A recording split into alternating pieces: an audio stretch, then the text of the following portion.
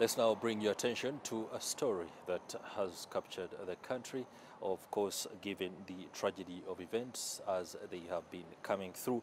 Re relatives and friends of Noreen Nabirye, one of the four women allegedly murdered by one Musa Musasizi, want authorities to ensure that justice is served and that capital punishment is meted out to the suspect.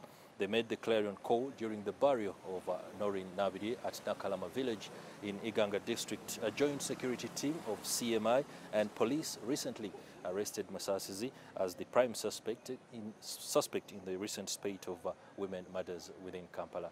Apparently, he, that is uh, Musa Musasizi, confessed to killing the women. Let's have more in the following report. 23-year-old Nori Nabirye, one of the four girls allegedly murdered by Musa Musasizi, was buried yesterday at Nakalama in Iganga district. At the burial, relatives and friends narrated how she died, which left mourners in tears, some fainting. The father of the victim, Henry Waiswa, a police officer at Luwero Central Police Station, said he learned about his daughter's death through the media. He emotionally narrated how they frantically searched for her for weeks. He even had her phone activities printed out so he could investigate the matter himself. N'atuuka kurukumi na itaano saa munaana. Nga oyo omwibi oyo madala naye atoola essimu lyanoora yatula mu kaadi yanoora yata mu essimu lye. Kyona nga takyuka The Kigulu South MP and brother to Nabirye said they had lost two people in the family in a similar manner in a short time. He wondered why anybody would kill such an innocent person and asked for harsh punishment.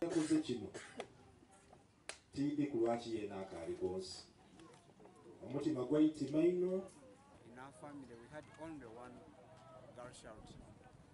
We had we are like four boys and we had only one girl. Nabirye's friends from Kampala, led by Peace Tattoo, a media personality, described her as a good person. maama musabe mukama akugumye omutima kuba ndi muzadde manyi kyowulira Let's, let's, let's justice prevail.